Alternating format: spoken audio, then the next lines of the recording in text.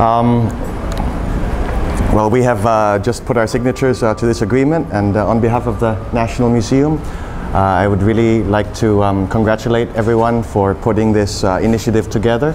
On the part of the museum, we're very happy to enter into this and such agreements. We always look for strong partners uh, who we can work with um, all over the country in order to promote the work that has been done in cultural heritage uh, and to uh, really strengthen the appreciation of our past.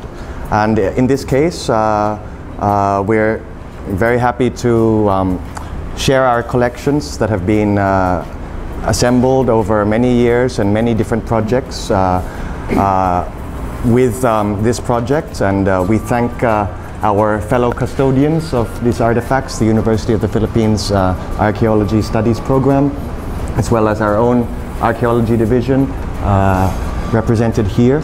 Um, and uh, we're very uh, confident uh, that in, uh, in Southfield Educational Foundation and the municipality of Baco and of course the province of Oriental Mindoro, we have excellent partners and we're also very happy to um, contribute to the work of the National Committee on Museums of the NCCA.